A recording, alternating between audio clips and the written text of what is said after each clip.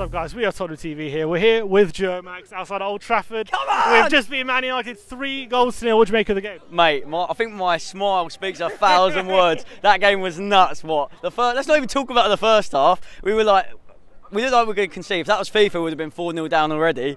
And obviously, we went at a break, heads down. We're like, oh, it's going to be same old 1 0 every other year. Like I've, I've been here once before. I've seen us lose Mkhitaryan mm-hmm. or he was like, yeah, same thing's going to happen. Obviously, last year was Martial. We three nil, three one nil losses in a row. I know. So tell me about it. So it was nice. That second half, it's like it's like Poch literally just put a rocket where the sun don't shine and literally was like boys go out there play your heart out. Lucas had the game of his life for us already so the fans love him already. Rose had a great game back. Obviously kane scoring old trafford i mean it just got better and better and the scenes oh mate it spoke for themselves he made a big call today, Pochettino, putting in Rose for Davies and putting in Toby Alderweireld, dropping Sanchez. What do you make of those switches? Seeing Toby in the team, you're never going to be like, oh, why is he back? Like he could have been playing here, so it's nice. Obviously, I'd give him a new contract. He needs a new contract after that. Why not? That just shows. Look, everyone's going to say you don't need signings. They're obviously going to say it when we lose. Oh, Spurs still need signings, but when we're playing like that, you've got Toby, Jan,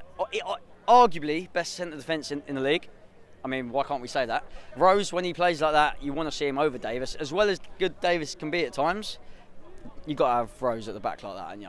Obviously, had a little mistake. We nearly conceded, but is what it is. This could win, give us more confidence in terms of going away to these big sides and trying to play our, try stuff. Hundred percent. Why not? Why why can't we go to away games? Why can't we go away days and expect to get involved and get a victory? Why not? Why can't we go there and score three goals? We've done it at United now. We've proven we're a big side. We've been, we've been going up the ranks in the last few seasons, and this is it. This is exactly what we can do.